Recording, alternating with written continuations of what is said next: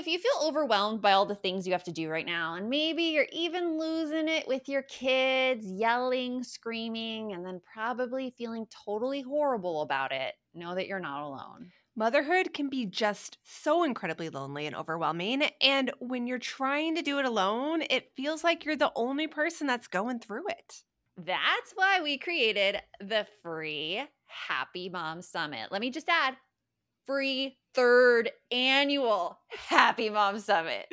I love it.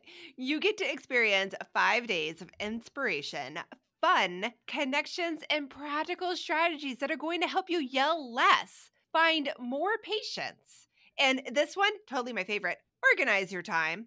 And we have so much fun, Brie. It's like hanging out with you and me like every day, every morning. We're in there in the group, and I look forward to this week all year. It is so much fun. We have over like $2500 in prizes. It's all about connecting, meeting new people and seriously, you you just you can't lose. Yeah, and officially it starts March 4th, but you can go sign up now and the fun has already begun in our online group. So sign up now for your free ticket. Yes, you heard that right. It is totally free, man. Just visit us at register.happymomsummit.com, but you're also going to want to grab that VIP pass. Yep, grab that right after because you can get all the presentations right now and you can get over a thousand dollars worth of bonuses from our speakers. Plus, you get to join me and Brie in Balance VIP for a month. I mean, this is the best. You can't lose. Go and sign up, register.happymomsummit.com, and we will see you in there when we're trying to get out of burnout. First of all, it's not completely our fault. And no, you are not imagining things if you feel like you have all this pressure to get things done. Like that pressure is totally there. And it takes recognizing it to get through it. Welcome to the No Guilt Mom podcast. I am your host, Joanne Crone, joined here by the lovely Brie Tucker. Why, hello, hello, everybody. How are you? we have just started 2024 and already like we're feeling it we feel we feel the burnout we feel the mental load we feel everything just kind of weighing down upon us so we wanted to bring you this episode about how do i know if i have burnout and we're going to be really vulnerable and talk about our own burnout and how we've gotten through it or what we're doing currently to do it and we hope you find a lot of support and love in this episode. And yeah. Before we get into it, though, we have a quick favor to ask of you. Can you rate and review us, please, on Apple Podcasts? It would mean the world to us, and it helps the No Guilt Mom podcast get out to more moms who need this comfort, who need this information, and need to know that they're not alone because we truly want you to prioritize yourself and your well being. And that's what makes you a better parent, not doing all these extra things and checklists. So, with that, we're going to get into burnout right now. Let's get on with the show. You want mom life to be easier. That's our goal too. Our mission is to raise more self sufficient and independent kids, and we're going to have fun doing it. We're going to help you delegate and step back each episode, we'll tackle strategies for positive discipline, making our kids more responsible, and making our lives better in the process. Welcome to the No Guilt Mom Podcast.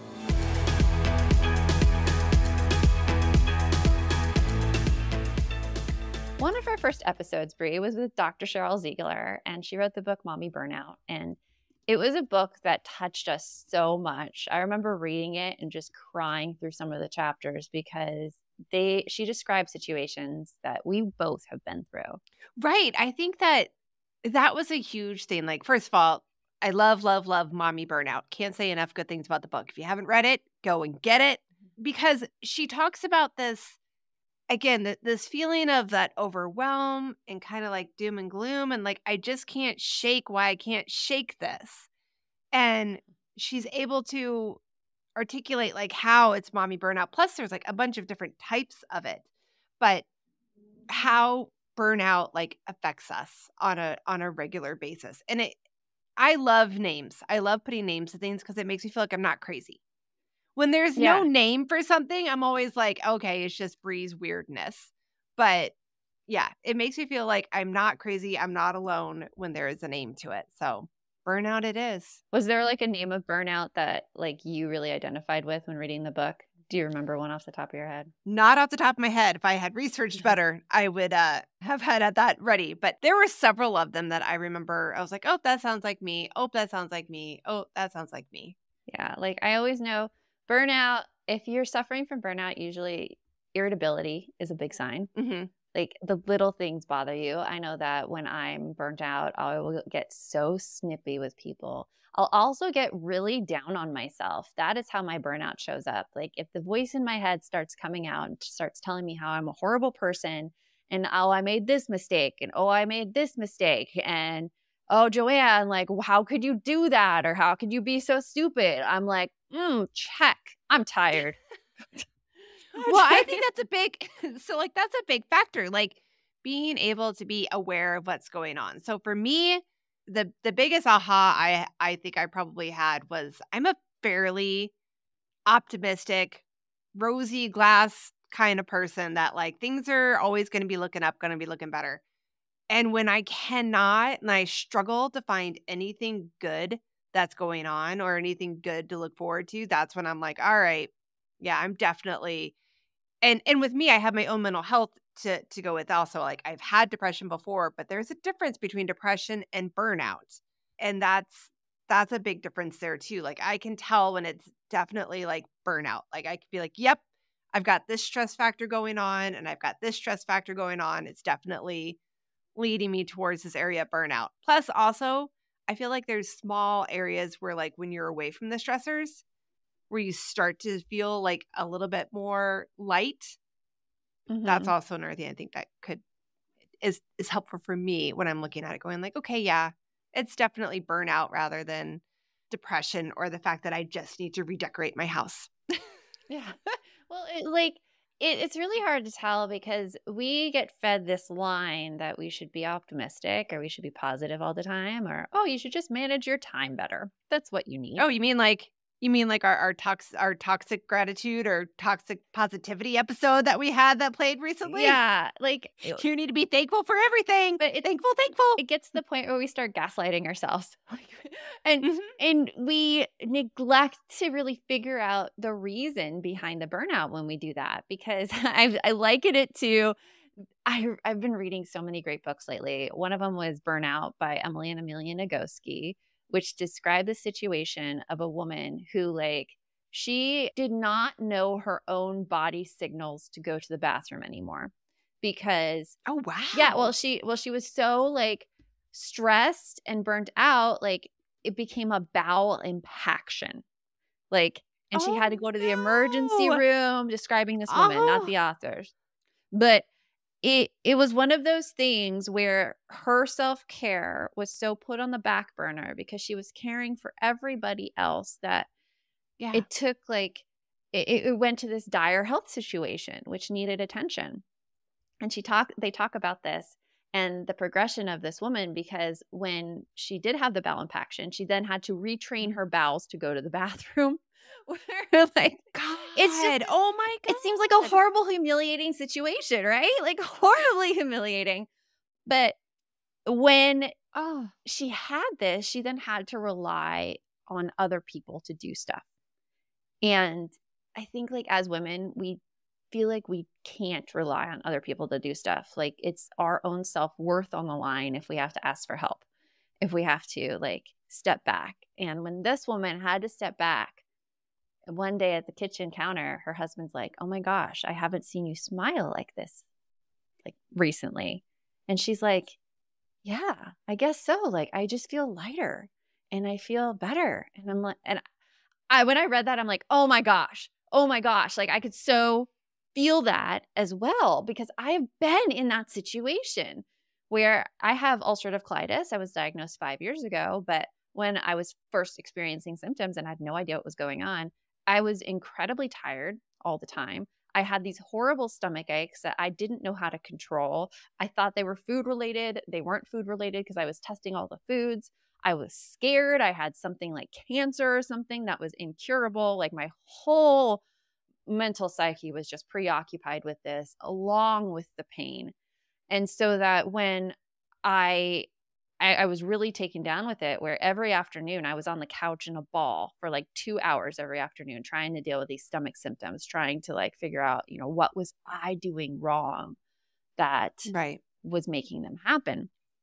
And then when I finally got diagnosed, um, it was like all of this pressure was off of me now. It wasn't my fault. And I needed to also step back and look at things. Whereas that situation wasn't so much like my family stepping in or taking things off of me, but that was more of my own things being taken off of myself, like my own pressure being taken off of myself. Like during that time, I had no creativity. I, I would like watch Netflix like for hours a day when I was supposed to be working because I it didn't nothing occurred to me of what to do. I had no extra brain power. And when that Mhm. big stressor was removed, that's when everything started coming back and looking happy again. But Yeah. it takes having it removed to even realize that you're in burnout sometimes. Right. It does. It's kind of like that whole uh yeah, like you've dug yourself into a hole. And, and and it's not a, and I, I hate saying that actually. I shouldn't say you've dug yourself into a hole. It's like you fell into a hole Yeah. and you can't you you yeah, it's it's about trying to get out of it to get to a better place because yeah, that's those are all the things that happen. Exhaustion and like and when you are just every ounce of brain power is just and every ounce of energy is just to make it through the day. Mhm. Yeah, you don't have anything extra to give to anybody. Yeah. And women are more likely to experience this as men because there are so many societal expectations on women to put themselves before others. And so women will like burn themselves up to keep others warm. And it's so common, like so common. Well, because that's what we're supposed to do, or else we're not a good mom. We're not loving, we're not caring, we're not attentive, which those can all be in a whole nother podcast episode. I know, but that, I mean, we need to realize that and that push on us to know like this isn't just us. It's not like our fault that we're burnt out, but it's all of the cultural and societal expectations on us. So there are ways out of burnout, and uh, we're going to get into what we've tried right after this break. This message is sponsored by EveryPlate. Anyone who knows me knows there are two things that happen with me. I'm always trying to save money and I am always running behind. It's 7:58 and I'm on my way out the door to an 8 a.m. meeting. But that is why we partnered with EveryPlate. EveryPlate has helped me save time with less trips to the grocery store and meals ready in six simple steps. I absolutely love how they plan delicious meals and send me the pre-portioned ingredients right to my door. So I can spend less time planning, shopping, and cooking and all while saving big bucks. I too have better things to worry about, Brie, than what's for dinner. EveryPlate provides plenty of delicious variety. I'm talking so yummy, like 26 tasty and affordable recipes that start as little as $1.49 a meal and new recipes every week. This week we're trying the bacon and Gouda smothered chicken. Like I'm salivating. I'm salivating already. You know me and food. And I really love that I can customize my recipes by swapping proteins and sides or even adding a protein to a veggie dish. Hey, Joanne, do you got a buck? Um, yeah. Well, then you can get steak for life. It seems unbelievable to me, but you can add a 10 ounce ranch steak to your weekly order for just $1 a box with your active subscription. Get a meal starting at just $1.49 plus a dollar steaks for life by going to everyplate.com slash podcast and entering code 49NGM. Subscription must be active to qualify and redeem $1 steak. You heard that right. Get a meal starting at just $1.49 plus $1 steaks for life by going to everyplate.com slash podcast and entering code 49NGM. Subscription must be active to qualify and redeem that $1 steak. I've been looking for simple ways to form healthy habits and get the nutrients my body needs, even on really busy mornings. And lately, I've been feeling pretty stressed and sluggish. So that's why I decided to give AG1 a try. Not only does AG1 deliver my daily dose of vitamins, minerals, pre and probiotics, and more, but it's a powerful, healthy habit that's also powerfully simple. It's just one scoop mixed in water once a day every day. And it makes me feel strong and energized and ready to face the day, uh, in addition to my cup of coffee. And that is why we've partnered with AG1. If you want to take ownership of your health, it starts with AG1. Try AG1 and get a free one year supply of vitamin D3K2 and five free AG1 travel packs with your first purchase exclusively at drinkag1.com forward slash NGM. That's drinkag1.com forward slash NGM. Check it out. So, some mm-hmm. things to realize when we're trying to get out of burnout is first of all, like it's not completely our fault. And no, you are not imagining things if you feel like you have all this pressure to get things done. Like that pressure is totally there. And it takes recognizing it to get through it.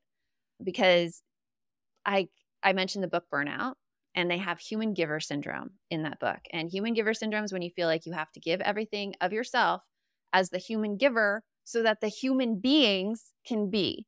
And in this scenario, human beings are always the kids and the men, and the human givers who give everything of themselves are the women. And it exists. It exists. So, how can we fight back against it? Brie, like, what have you tried with your burnout? When I'm going through it, like I'm I try unplugging myself, like not having my phone around because again, most of the things that are stressing me out are, you know, work, family, uh, you know, something that that my phone is going to connect me to. So I try to like separate from that. I also try really hard to remember to at the and I and I like this. It's at the end of the day, very end of the day before we go to bed my husband would practice gratitude would like share three things he's grateful for from the day. And I would try to do that. And I wouldn't be hard on myself if my gratitude was like, I made it through the day without yelling at anybody. Mm-hmm. like, whatever it is, like trying to find something positive to remind myself what that feeling is of having the positivity. And then just trying to take time away from the things that are causing me stress. So, and I know that that sounds like some people are probably listening to this right now and being like, well, the things that cause me stress are my family. So, how exactly am I supposed to leave my family? Well, maybe that's like go for a self care day, go to the movies by yourself, go get, you know, get, go to a spa, go shopping, go to a park and just sit and enjoy the quiet. Whatever it is, but like try to extract yourself from those things that are that are causing you to have so much stress and burnout. Mm-hmm. Yeah, I think like unplugging is good, but it's so hard to do because I don't know about you, yeah. but like my mind is constantly on things. Like sometimes it's better for me from a relaxation standpoint. We were just talking about this this morning. If I just handle the thing I'm anxious about rather than try to unplug from it, like I, I can't stop thinking about it. I mean, do you feel yeah. that way with like things on yours? So my thinking about it is like it the way mine happens is it'll wake me up from a sleep oh. and then I can't go back to sleep. But in the moment, I have to like I don't I don't have it there 24 I I can leave it. I can literally take my phone and I swear to God, I think sometimes I do that like uh, like subconsciously. I'll put my phone somewhere and I'll be like, where the hell did I put my phone? And it'll take me like half an hour to find it. Like, where did I put my phone? Why is it in this random nook in the dining room. Oh, probably because subconscious Brie was like, let's stick this here and let you walk away for a little while to have some air. like, no dings. Because when the phone is there, any ding immediately makes the blood the blood pressure spike because you're like, oh, it's another thing. Like, because when you're at burnout, you have no you have no ability to process any more stressors. Mm-hmm. Everything that happens is a level five catastrophe. Yeah. And and your body cannot keep going at that rate. So you're exhausted, but you can't go to sleep because your mind won't stop thinking about the things. Mm-hmm. So, yeah. So for me, I I do have to try to escape from it. I have to. Cuz a lot of times the things that are stressing me out, I don't have the answer to. Mm-hmm. And thinking about it over and over and over again is not good for my mental health. That doesn't work well for me. Yeah. I so. I sometimes like I don't get stressed out by the things I don't have the answer to yet. I I've learned to be like, "Oh, well, that one's that's coming. That's coming later." Something like that. I get stressed out by other people getting stressed out. I'll I'll get stressed uh, if like I see other people stressed out, I will try to alleviate their stress. That is something that I like it's a natural inclination for me and it's not the best thing because it means that other people's emotions really tie onto my emotions and it's not anything that other people can hide at all. But like just a situation a few weeks ago, um I was trying to get to the bottom of why I was so angry about the situation and I was talking to my Mhm. husband about it. And I'm like, I'm just, I'm just so angry. Like, I don't even want to spend time around this person. And we talked about it for a while. And he's like, Well, like, what's the root cause? What what's the reason that why are you so upset? Like, what are you thinking about? Mm-hmm. And it took me a while. And I was like, I think it's because I can't do anything about it. Like, this person wants me to do You can't s- fix it. yeah, I can't Yeah. fix it. Like this person's fix is not something that I think I should do or think I can do. And that is what got me really really upset. Like that I can't I can't fix it. There's nothing I can do for this situation. It was a situation totally with the other person that was was things and how they perceived the situation and I couldn't do anything. And that made me upset, really upset. And it made me upset that I was expected to fix the situation too, I think. Um, but I couldn't. I'm sorry to be so obtuse there, but we have to No, I mean, unwilling. it is what it is. Like, and I think like you just gave a good example of something that, you know, I'm not sure if it's female giver syndrome that you just gave an example of necessarily, but it's definitely something that I think a lot of moms struggle with is the whole how we take on everybody else. Mhm. Like, I think I was just telling you earlier in the week, we've had a few things happen in our family. Like, we have my nephew had a mental health crisis that happened that caused some um some medical intervention needed, and then we're recording this right after the the Super Bowl, and you know, emotions were high at, at a Super Bowl gathering I was at, and there was a couple people that that clashed, and I was stuck right in the middle of it. I felt nobody mm-hmm. put me there but emotionally I was in the middle of it. So then I'm like already hurting about the family member that was having their issue that happened the day before. I'm hurting about both people that are fighting on the Super Bowl. And then two here we are separate fights you were doing with the Super Bowl. Yeah. Two separate fights. Yes. Yeah, two separate things. And then here we are like days later, they just had the Kansas City Chiefs shooting at the parade. Yeah.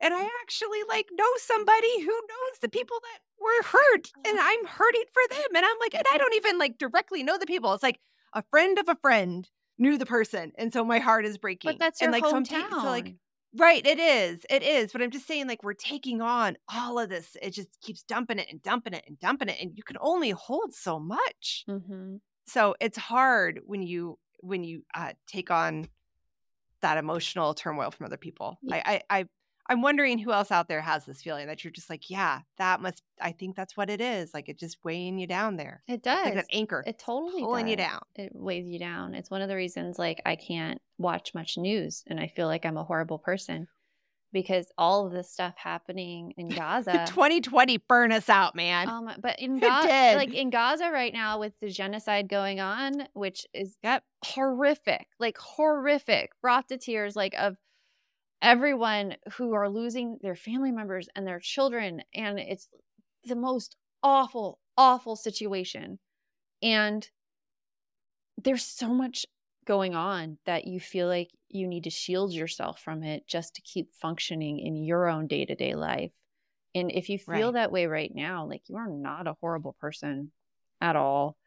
You are doing what it takes right now to survive for yourself. And that needs to be okay. So, after this Yeah. break, we're going to talk about what it feels like to get out of burnout and how you know you may be turning the corner.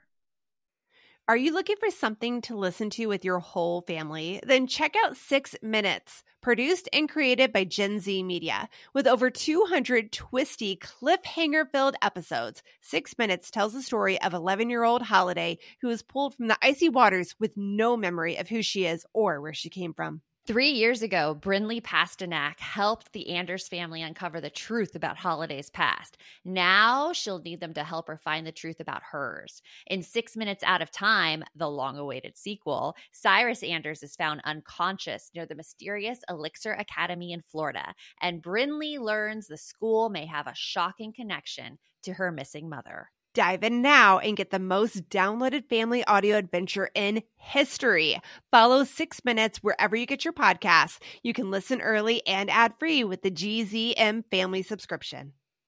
Hey there, I'm Debbie Reber, the founder of Tilt Parenting and the author of the book Differently Wired.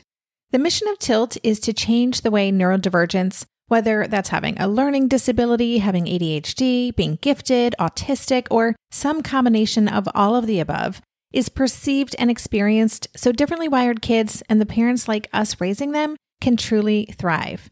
On the Tilt Parenting podcast, I get to talk with authors, therapists, educators, and parenting experts who are committed to this mission. I ask the questions my listeners are most curious about when it comes to supporting our kids. And in turn, my guests share strategies for challenges, out of the box ideas for navigating school, best practices for therapies, tips for advocating, and so many thoughtful insights on what it really takes to help our kids grow up feeling seen and respected so they can create awesome lives for themselves. I know that raising a differently wired kid can feel overwhelming and isolating, but I promise you, you are not alone, and it can feel so much better. If you're on this parenting journey, come listen to Tilt Parenting. Together, we can shift this paradigm and show up for our exceptional kids with hope, possibility, and joy. Okay, so with burnout, the things like Brie does, she unplugs at the end of the day, practices gratitude. I cut myself off from all the news because I just can't handle it anymore. Uh, something else that I find helps with my burnout is if I do something called completing the stress cycle, which is just exercising. Um, I don't exercise for the sake of looking good. I exercise for the sake of getting rid of stress and uh, making my body stronger so it doesn't hurt. Because, you know, 42. Those are good reasons. Yeah, Those, are, those are good reasons. Oh, I just saw like a really good meme the other day that had uh, Johnny Cash. It's like when you exercise over the age of 40, I hurt myself today. today. I believe it. I believe it. I feel like I'm about four weeks into my strength training routine and I Mhm. feel really good, like standing up stronger, not as much pain in my shoulders, and really energized by the entire thing. Pants are fitting looser, uh, which is great Yay. after Christmas. I'm- Oh God, I know. I like uh, we had an episode about the about the post holiday blues. I forgot to add that one in there. The whole fact, that like nothing fits. Nothing fits. yeah, like I am not Grr. I, I don't weigh myself because I get psycho about my weight because of thank you 90s and body image issues.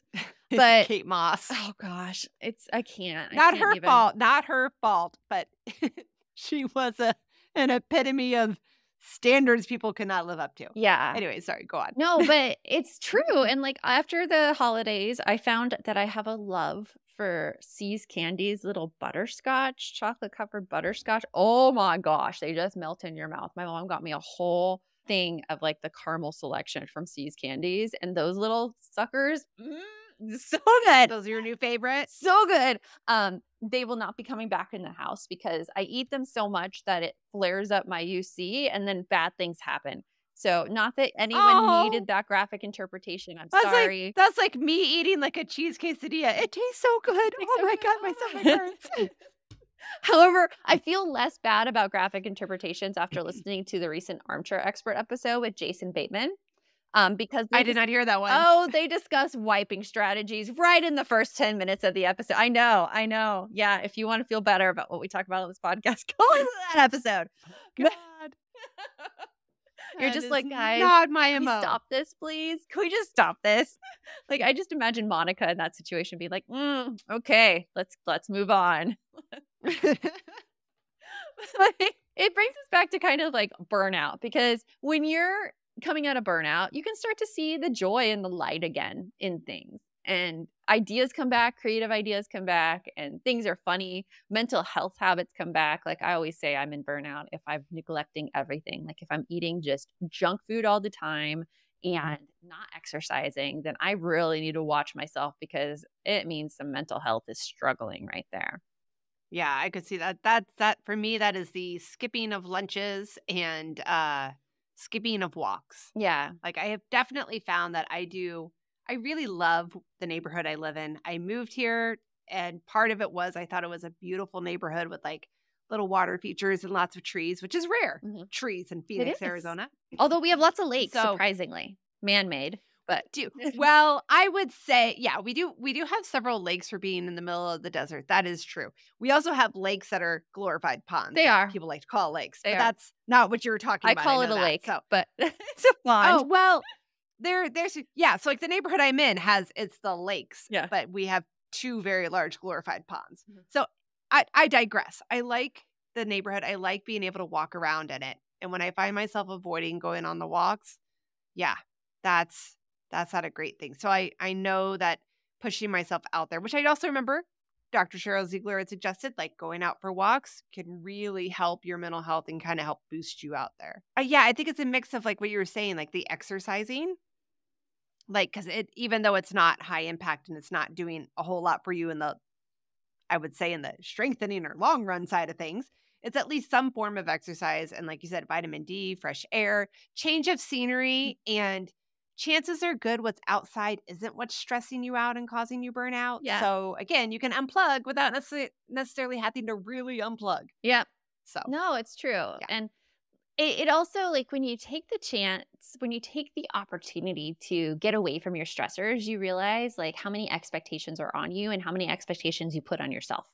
Because that is usually the cause of my burnout is these expectations I put on myself. And it's hard to talk to my husband about it because men don't have the same expectations as women. Like they're not, it just, it's not. And people will say, and men will give well meaning advice oh, just go relax, just go relax. I'm sorry, but like our brains don't work that way. And it's not because of a like female versus male difference, it's because of how men and women are different. Like they're socialized differently. So it's like, being treated differently your entire life has changed your brain shape and it's changed the connections you make and it's changed everything so that just sitting down to relax isn't really a reasonable thing to ask. True. And a lot of times it isn't. Like, yeah, yeah. There are so many times I can think of where it's just like been like the question of, well, what do you need? And I'm like, I don't know what I need. I don't know. I don't. Like when has I anyone really tell you. asked you what you needed growing up or anything like that? Like you don't get asked it. I could ask more. I could ask more of it now by my husband. Yeah. He he really does try to help, but sometimes in eh, eh, right, like sometimes even just being asked that question, "What do you need?" is even too much. Mhm. Okay, well, so now you're asking me to stop, write everything down that's going through my brain, and then figure out what I can dole out to you and what I can't dole out to you. Like eh, that's just it's it's that whole thought process of the like where we get upset sometimes. Like, why do I have to tell you what I need? Mhm. Like it's, and I'm not saying it's fantastic. I love it. Somebody asks. Mhm. Like you said, most of our lives growing up, nobody really asked us what we needed. And a lot of us in relationships, nobody ever asked us what we needed. So I love being asked. But sometimes when you're already in that burnout state, yeah. being asked is just one more thing you have to figure out. No, sometimes I have a fantasy of just leaving for like weeks on end and have everyone figure it out themselves. Like, do you ever Oh, have that I fantasy? remember. I always have that fantasy. Um, Okay. stressed. I don't right now. Yeah. But it's funny you bring that up because you know I'm a uh, I was a psych major in college and um one of my classes, I think my first ab psych class I ever had to take, our professor talked about how there is a psychological break you can have and it's like dissociative amnesia. Mm. And she talked about how that was her dream. She desperately wanted to have dissociative amnesia. I think that's the right phrase. I hope it is. Because here is exactly what you said. She goes, basically you just forget about the parts of your life that are stressful. That's awesome. So like you can get in the car and you can be like, you know what? I'm, I'm going to go live in Las Vegas. You remember your bank account number. You remember the phone. You remember all your nice clothes. You remember how to get in your car, but you don't remember your family. You don't remember that stressful job and you don't remember the bills you got to pay. You legitimately don't remember them. They legitimately leave your brain. Amnesia, poof, it's gone. And she's like, that's my dream. One day I'll get that. it's funny though that like we're we're pushed to that.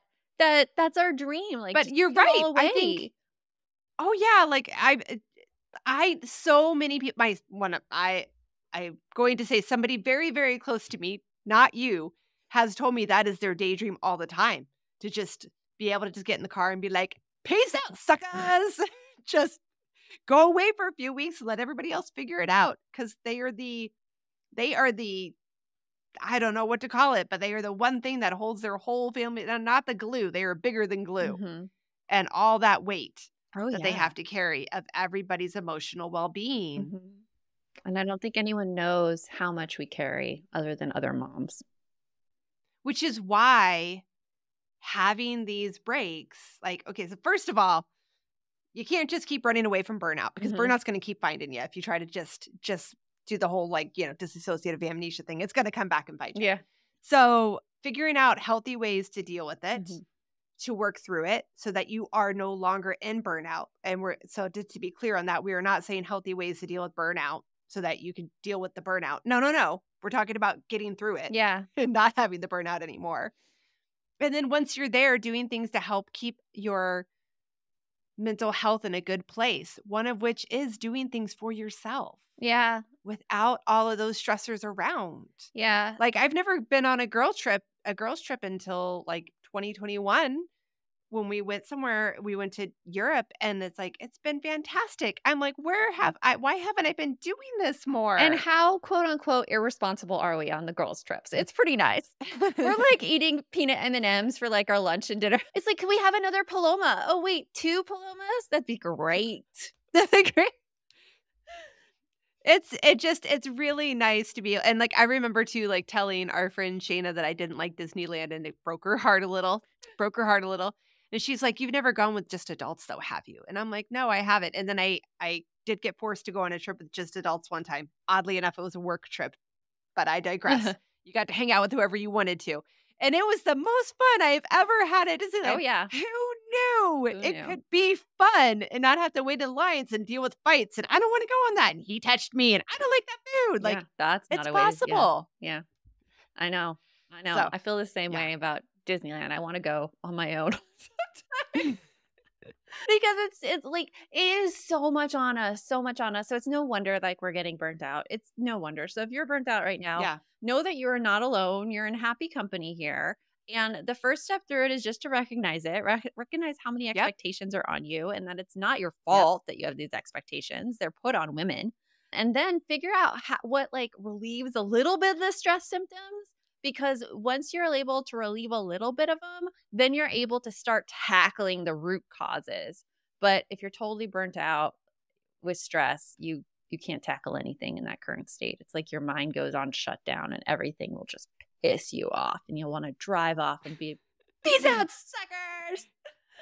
Exactly. we need to make that. That needs to be our new sticker. Yep. With the mom with like, her Suckers. hair and a convertible flowing, go driving into the sunset. Peace out, man. Yeah, all of our daydreams. That would be great. yes.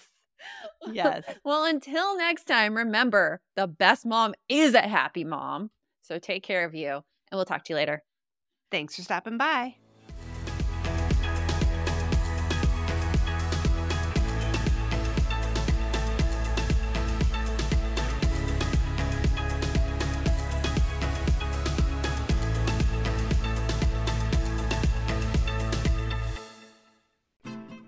I'm Margaret. And I'm Amy. And together we host the podcast, What Fresh Hell Laughing in the Face of Motherhood. Margaret, I would say you're sort of a where are my keys kind of mom. Correct. Sometimes a where are my kids kind of mom. Well, you're Amy more of a we were supposed to leave 35 seconds ago, mom. I mean, touche. In each episode of What Fresh Hell, we come at a topic from our usually completely opposite perspectives. I bring the research, And I bring kind of the gimlet eye. Like, is that research really going to work, people? And almost 10 million downloads later, we're still laughing. We also talk to experts in the parenting field, plus parents with stories we can all learn from. We make each other laugh, we challenge each other's assumptions, and we have what we think is the best parenting community on the internet. Check out What Fresh Hell Laughing in the Face of Motherhood wherever you listen to podcasts.